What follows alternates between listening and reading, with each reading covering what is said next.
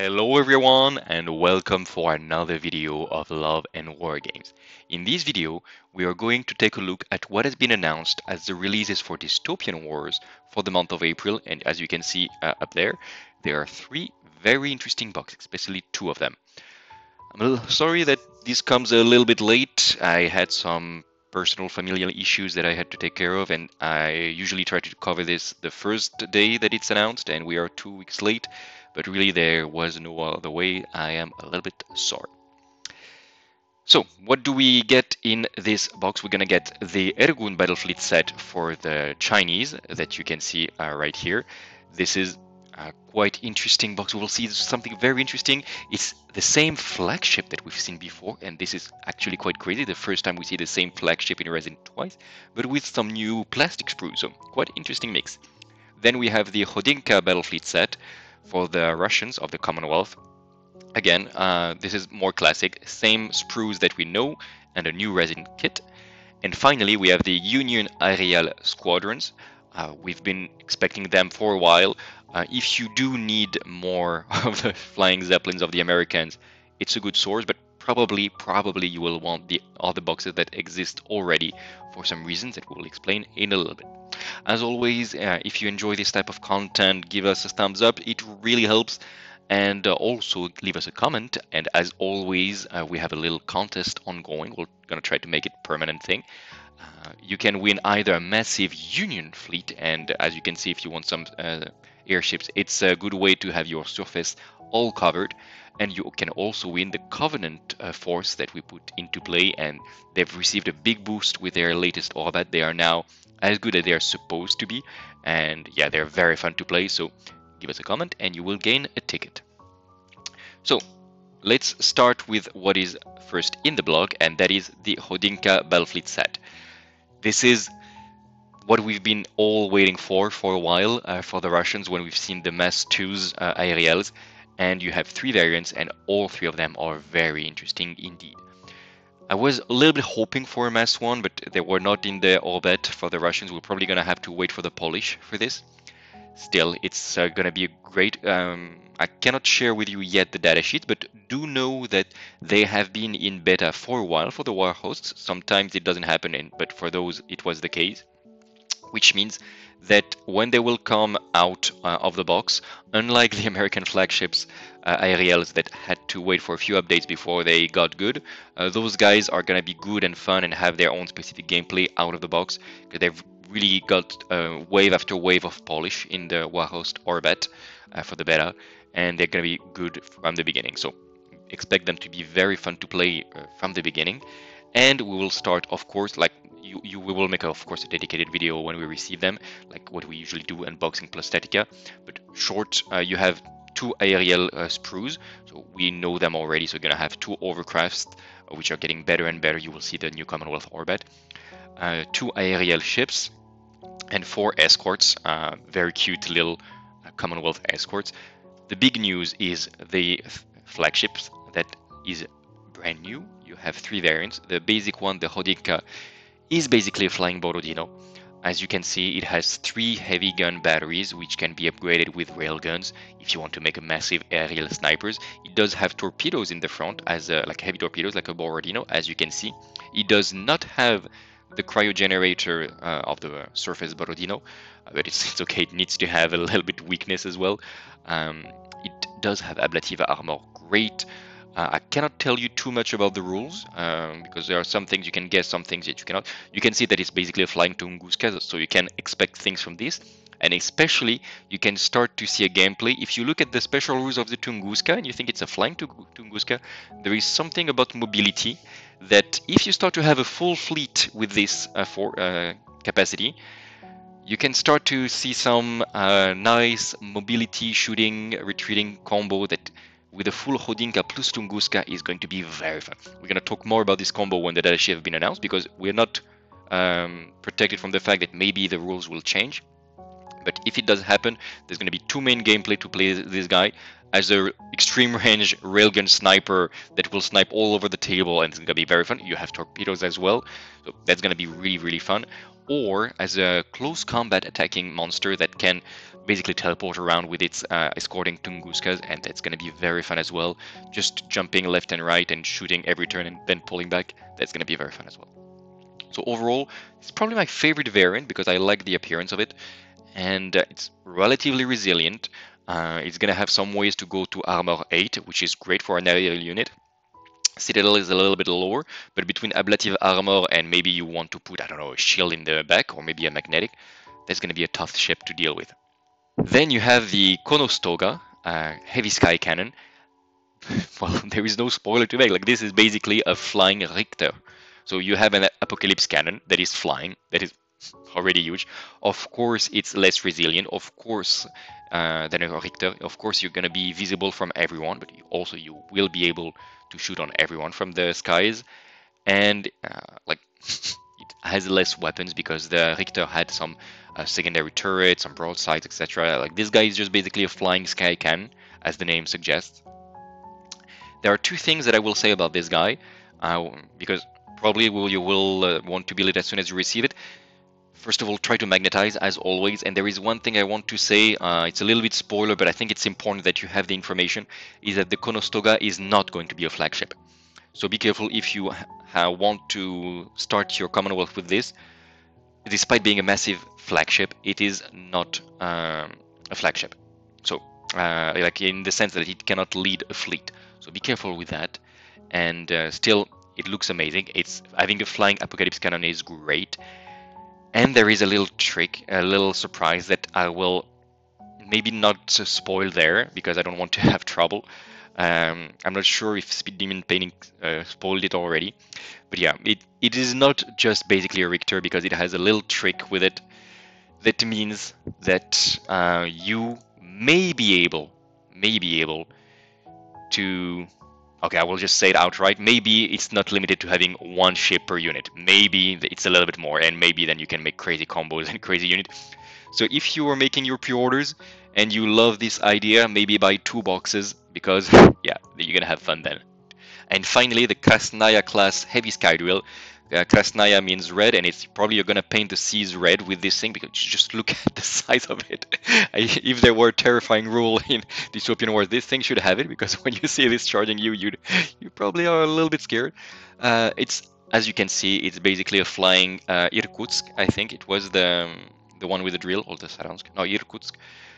Except you have heavy gun batteries, so you can put on this little guy as well something like a shield generator. It has basically all the rules of the Irkutsk.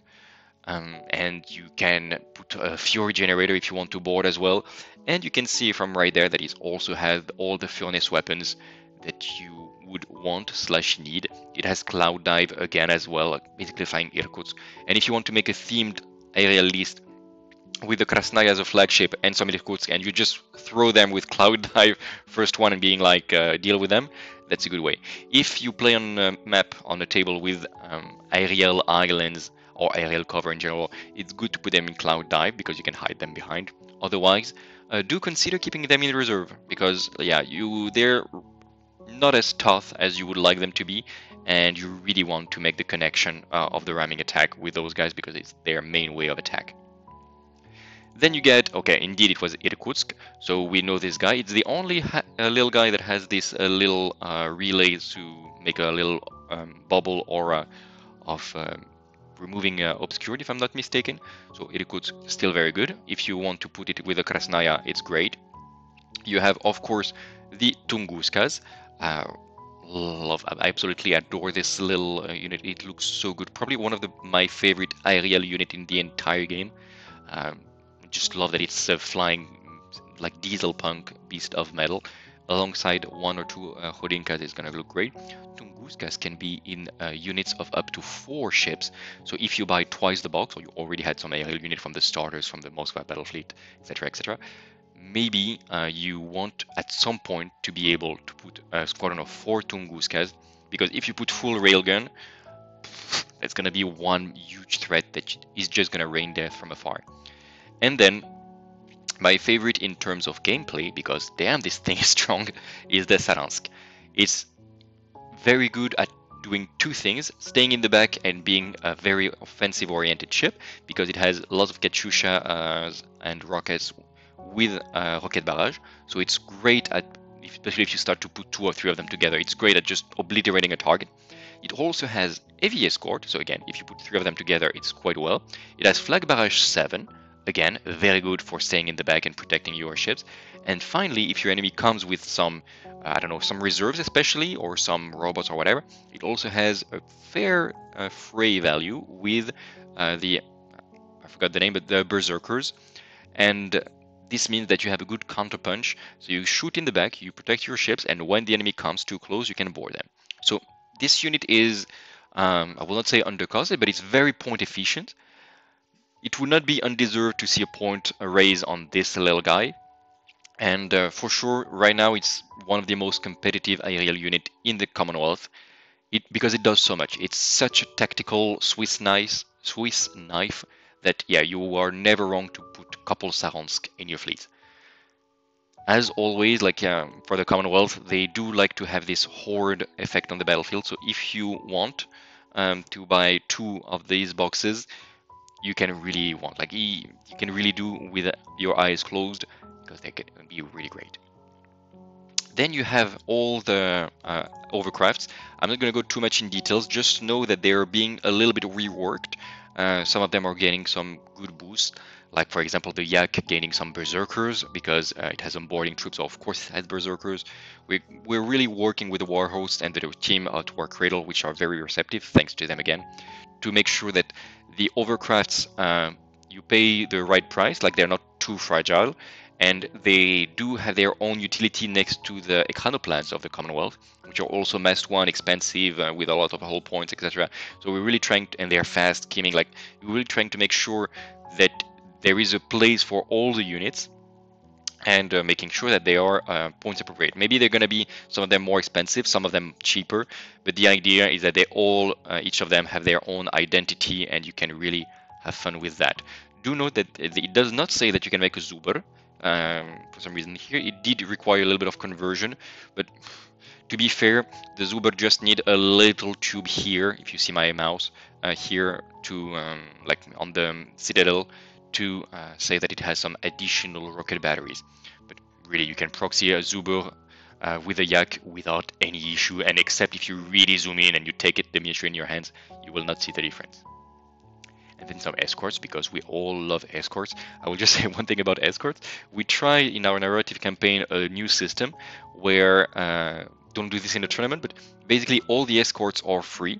So yes, it helps a bit more Sultanate, but anyway, they need help anyway. And it makes the table so much better. Everybody does this now in our gaming group because they're they're good escorts, but they don't change the game. They're a little bit like you feel bad buying escorts because it's like points. That, oh my god, maybe I could have bought an extra turrets or stuff and they don't change much and it has so much uh, like uh, enjoyment to have them on the table because you really have this messy fleet feeling. It doesn't make the game any slower at all because you don't play them. They're just token. They just look good on the table. And so yeah do try with your friend at least once uh, to have all the escorts free. So all the flagship are to have max escorts etc etc and uh, let us know in the comments if you do enjoy the game more like this. Then the second big release of this month is going to be the Empire uh, Ergun Battlefleet set, and this is really interesting because this ship, this is the Ergun, the transport one, we've seen it already with the uh, Heilong Battlefleet set that we've unboxed on the channel a while ago. It was it was with some uh, Chinese frontline, and again we're gonna go in detail of all the units and what they do when we receive the um, the box. We're gonna make as we do now unboxing and Tactica. If the Orbat takes a little bit of time to be released, maybe it's gonna take a while for us to deliver the video as well. So uh, I cannot spoil you anything because we don't have any information about what any of these does. We can make some speculation. I think uh, Speed Demon Painting did quite some speculation about what everything does and maybe the statistics and stuff. I will just make a little quick notes about what does what. I think it's very interesting to have the same flagship with some different sprues. It's um, I'm not sure it's a great commercial decision because it makes more boxes and more boxes, and still it's great. If you are a new Chinese player, you can buy one Heilong Battle Fleet and one Ergun battle fleet and that you can make the two flagships magnetize them, it's great. And of course, it's going to be the first place where you can get the Chinese support sprues. So what do you get in that? Well, let's make a quick look. We talked about this already, the Ergun and the Heilong. This guy, the Ergun, is basically basically a boarding ship. It is a landing vessel with mass 4. That's really, really great. It has a lot of weapons. It has an integrated magma caster generator. Great ship, great border. Landing vessel is good. I just absolutely love it. But what I love even more, you've seen it a couple times on the on the channel, is the Heilong uh, strike battleship with two uh, flamethrowers in the front. Uh, in reserve, this thing is insane. You can attach a Jiang with another flamethrower. You can replace the gun batteries and the rockets with more flamethrowers if you want. so and it has a chemical conflagration, so this thing can just melt anything that is in range. Love this ship as well. And again, only the uh, front of the ship right there is um, changeable. So only the front of the ship needs to be changed, and it's quite easy to magnetize. Like I mean, I didn't do it myself; it's our painter Yasmin that did, but it seemed very easy to magnetize. So uh, it's always a good thing. Now, we're not going to go too much in detail about what we expect those ships to be. The DU seems to have a flamethrower in the front, which is fine, and some repair capabilities from what we see. We have the name the DU Immolation Cruiser. Okay, so we don't know exactly what that's going to be. But flamethrower is great. This is a Yaoji artillery cruiser with a little gun battery to the front and these guns that come from first uh, in the Yangtze flagship. I hope it's not like two-thirds of the firepower of the Yangtze, otherwise it's going to be a little bit oppressive, or then it, maybe it's going to be extremely expensive. I love the citadel of these Chinese ships, like right there, like, looks great. The Mekong also seems to have a small flamethrower there. Maybe it's going to have landing vessel, uh, from what we can see from the front there. And that's already going to be good. Rear uh, gun battery, so probably an expensive-ish ship uh, the Yaoji, the artillery, also has a gun battery to the rear. That's going to be counterintuitive because then if you want to use both gun batteries, you need to be from the side. Uh, but then if you do this, you cannot uh, use uh, this artillery that only going to shoot to the front. Let's remember the Chinese ships can use their pivot uh, like um, like they have paddle wheels, so they are very much more mobile. So you can find the perfect firing position much more easily. Then we have the Wuhan, which seems to be exactly like this uh, repair ship. From what we can see, I think it's either a generator, either it's uh, like I cannot understand it, what is this thing on the top. I think it's a generator. We'll have to see what it does. Make some estimation, but let's not waste time on this. The Lantau also seems to be a support-oriented ship, but also a landing ship from the front, from what I can see. Maybe it's going to have logistical support, we'll have to see. Rear gun battery, to get some defenses. I'm not sure you're gonna want to make big squadrons, so just a single gun battery doesn't do much, usually maybe a pound of damage if you're lucky. The Chong will probably be your bread and butter, because flamethrower, you're gonna be able to replace it, and couple uh, gun batteries is gonna be great, because then you can show your side, you're gonna have your broadside, your main gun, if it can shoot on the side, and two gun batteries. It's probably gonna be very good, but very expensive in points. You're gonna have some mess ones, the Hexi Hover Zedek. Um, we'll have to see what it does. It's either, I see it either as little artillery mortar, maybe alchemical mortar or something like this, or an anti-air gun. It's the two things that I can imagine. Uh, we'll have to see what it does exactly. And the first Japanese landing tokens.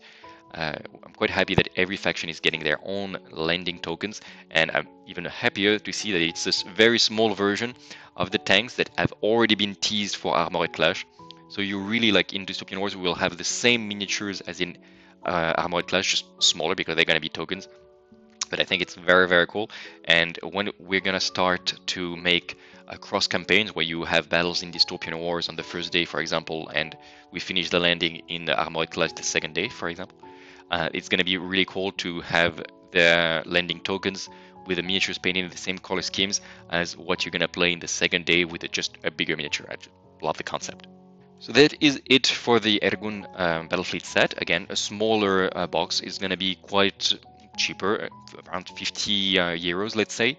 Um, maybe, maybe 45, maybe 52, we'll have to see exactly. Uh, do remember though that if you order through MyHobbyPlace, you're going to get minus 10% of your order and it also supports the channel if you choose us in your cart. So thank you very much if you do that. The last thing, and we're gonna skip fast on this, is the Union Aerial Squadron. If you need exactly precisely two more ships and that's all you need ever, okay, maybe take it. It's gonna be a cheap way to obtain these ships. You have two of these Union Aerial uh, cruisers, which are amazing. Like we've seen, uh, they were very bad when they were released. Forget what I said, they are now really good. They are not completely OP like the Imperium airships were at a, for a while, but they are really very much usable. Even the Bogotas there that I was not very happy about, they just received a new uh, update and now they're really also very usable alongside the Destiny especially. And some SRS tokens, so great um, great box in general. Everything is usable but then you're like why do you tell us not to buy it? Because if you want this it's a better deal to take either the honorable eclipse company battlefleet set or the amazing amazing destiny uh, battlefleet set which allows you to have not two sprues like what you have here, but five sprues for the HEC and eight sprues for the Destiny, and then you can do whatever you want with this. Uh, it's a little bit, well, it is more much more expensive, but the price per sprue and per stuff you get is cheaper, and you get basically the same thing but more. So do consider, do I need only two of those, or do I want at least five? I think five is the sweet spot, uh, because then I can really make a few things left and right or do I want to go all in and get the Destiny Battlefleet set? Uh, that is up to you, regardless, do consider how many you want now and in the future, especially since there are so many variants of those ships, and making a full aerial Union ship is going to look great on the table, and it's way, way usable. That is my only recommendation, otherwise, the aerial squadron is still a good box. Alright, that is going to be it for today. I hope you enjoyed this video. If you did, again, please give us a thumbs up. It really helps. The comments gives you a tip. Uh, if uh, Do share the channel to your friends because the contest will finish when we reach 1500 subscribers. So the more you spread the channel and the more you ask your friends to subscribe, the faster we will have the uh, contest finished for who will win a Union or Covenant Battlefleet set. And the faster we will start a new contest with more stuff. It's gonna be surprises, of course. Uh, so yeah, do spread the good word. And until the next video, not only spread the good word, remember to keep spreading the love all around. Bye.